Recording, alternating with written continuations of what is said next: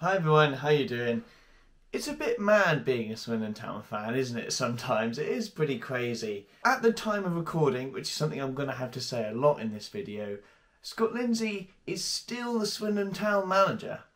Except he's not. The rumour mill has been turning on Twitter, and it sounds as though, through many journalist sources, Scott Lindsey has been sacked by or simply left Swindon Town, supposedly to take the managerial role at fellow League Two club Crawley Town. So the question then, when any manager leaves their post, who will replace them?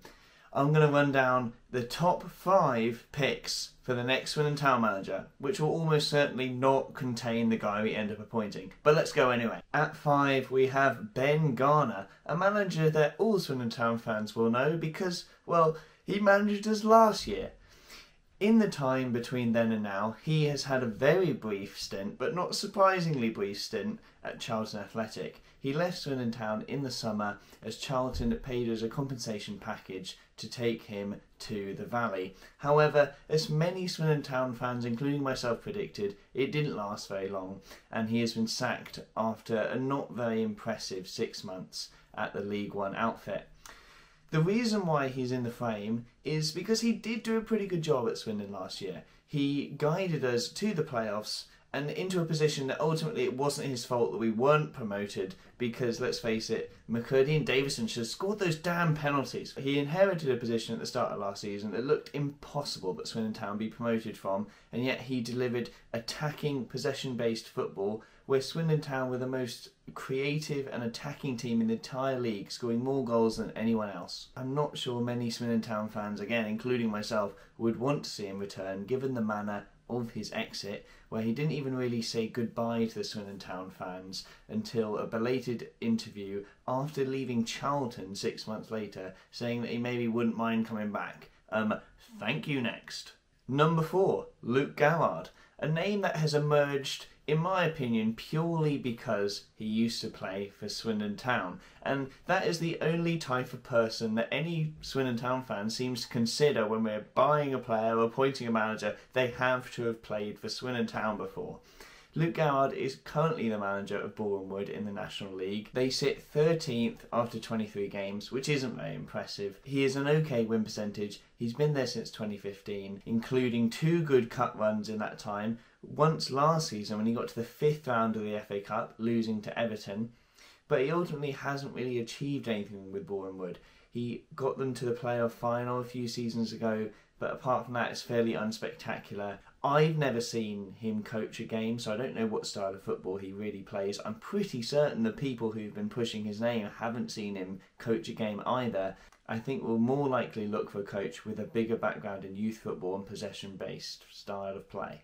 Number three, David Artell.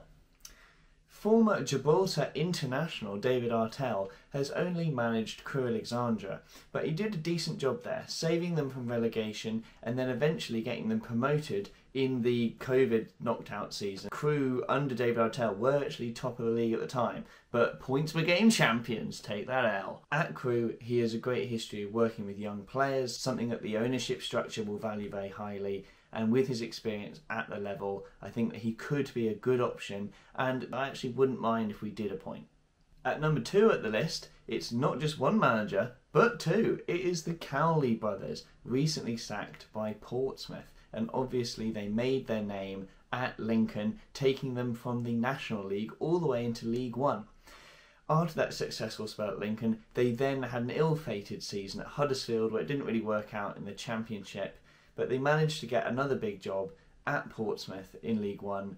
Um, it didn't work out for them at Portsmouth either. However, it's surprising for a managerial team that has been sacked to get so much positive comments and goodwill from fans under the statement. So it shows that they are true football men who really engage with the fan base, which is something Swindon Town fans really need at this point in time, as a lot of us are feeling a fair bit of disillusionment with the style of play and lack of attacking football and results that we've been seeing under Scott Lindsey.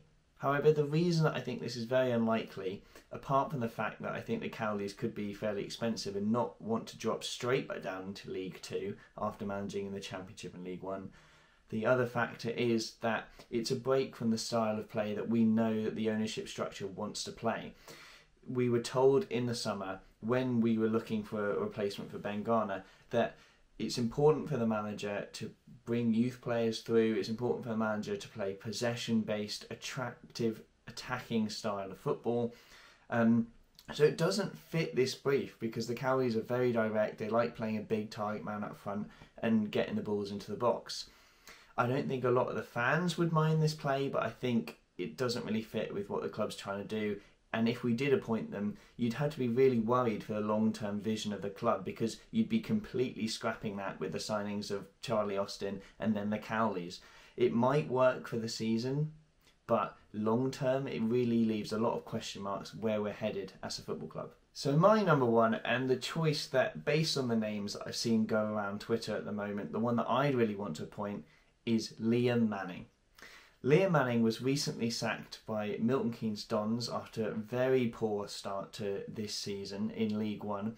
However, the season before, in his first season of management in English football, he almost got them promoted to the Championship with 89 points, finishing just outside the automatic promotion spaces and losing in the playoffs. Manning is known for working with youth players and a history of being a youth team coach at Ipswich and West Ham and even the City Group, which shows that there's a lot of faith in him as a youth coach and as a coach in general with the ability to play attacking, successful football but also bring young players through.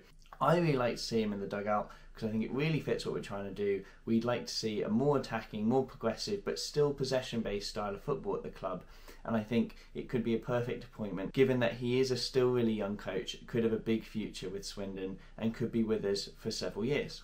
So those are my picks for the top five contenders for the Swindon Town managerial job, replacing Scott Lindsey, who again, as I record this, has not left Swindon Town. It's a very strange situation to be in, who knows what's going to happen. Probably by the time I posted this video, it will immediately go out of date as we'll appoint someone completely different like Paul Caddis because he used to play for Swindon Town for some reason, or maybe someone even stronger like Grant McCann or Jonathan Woodgate. And um, those could be strong choices as well. Not choices that I think would choose to come to Swindon, but you never know. Swindon's a crazy, crazy club to be a fan of. Wouldn't change it for the world. Um, if you feel the same way and like Swindon Town content, please like, subscribe, and share the video. And I'll see you next time, probably for a reaction to our real managerial appointment. All right, thanks a lot. See you next time.